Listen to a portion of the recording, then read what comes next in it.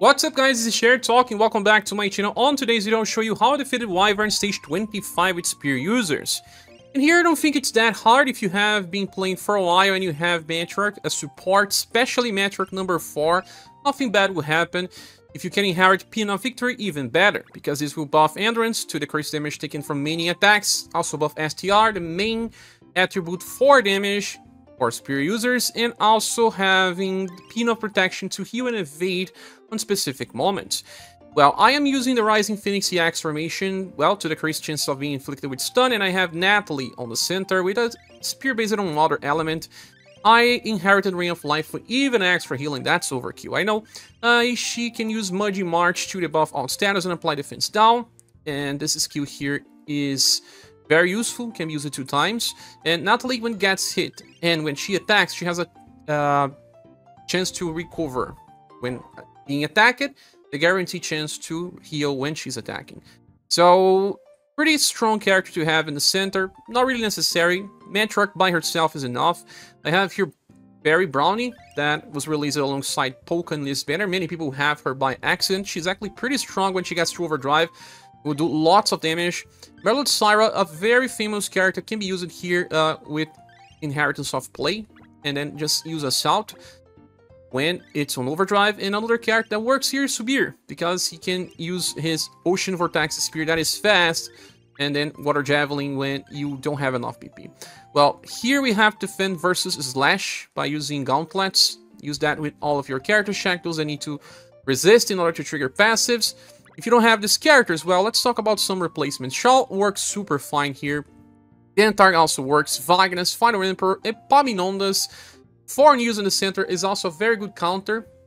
Uh, there's also Laura, uh, Minerva and her replacement. Even Kriemhild can work.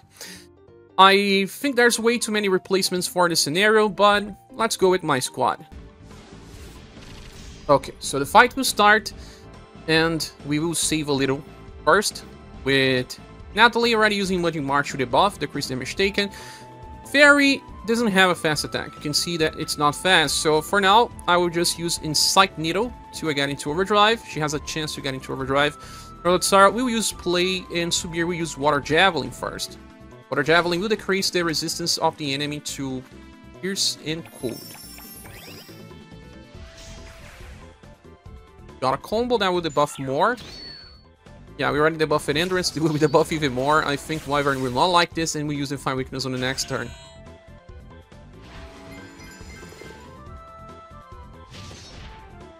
Yeah, when you use Play, you deflect. Now he will attack Natalie, and if you don't have Natalie, even the original Maria is good enough to use it here, because she will have chances of triggering the healings. Yeah, use it Define Weakness, like I said. That's okay, let's move to the second turn. We didn't get uh, Overdrive with Brownie yet, so Aqua Lunge. Another Insight Needle for now. You know, Victory. I can already start using Assault, but maybe not. Let's just use something like Lightning Loop that buffs STR for now. And Subier, he can already use Ocean Vortex Spear. Let's use another Water Javelin.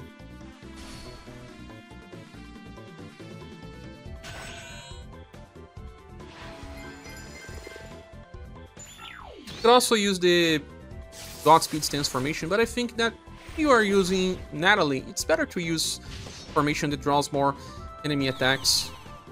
Although they are not always attacking Natalie. Seems like no one got into overdrive on this turn, so we can use some fast attacks and everyone else will just stay there. Yeah, let's stay there. I think I'll just use a normal now. You know, victory. Uh, I can also use another play. This will increase my damage further. And I will use Ocean Vortex Spear since it's the last time that I have 20 BP.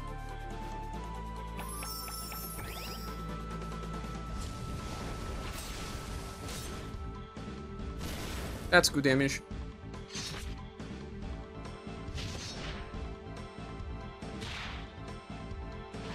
Turn there's way too many single target attacks, not many AoE.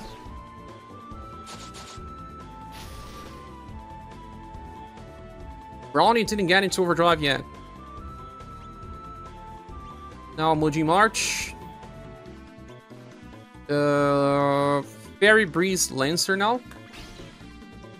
You know, Victory, and I can use Assault. I think it's okay to use now.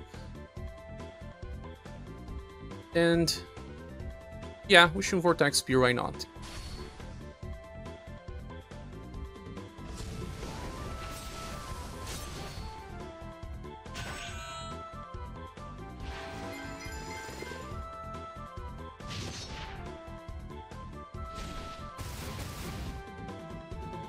Now Soft does a lot of damage when you are on overdrive. Okay, she got into overdrive on the start. Get again later. Everyone is on overdrive. I will actually use this overdrive. So let's go. Even through turn 6, it has defense now. Let's use another Fairy Breeze Lancer. Salt. And Vortex Spear.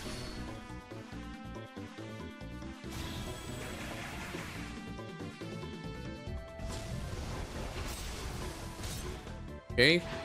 You got the uh, chase attack with Fairy. Whoa, that's insane damage. Yes, it is.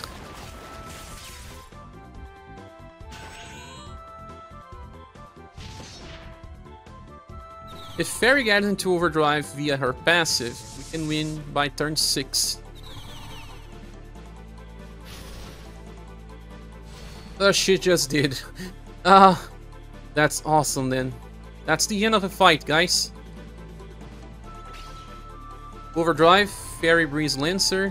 As you can see, her damage was insane. Everyone else would not hit because Wyvern will evade, but it doesn't matter. Fairy will kill. Same attack again. Even higher damage because we stack it. And three hits. Awesome. Well, that's also the end of the video. Thank you so much for watching. Please subscribe if you haven't. If you want to support the channel, we have links on the description like Patreon, PayPal, and Ko-fi buttons. See you later on the next one. Bye.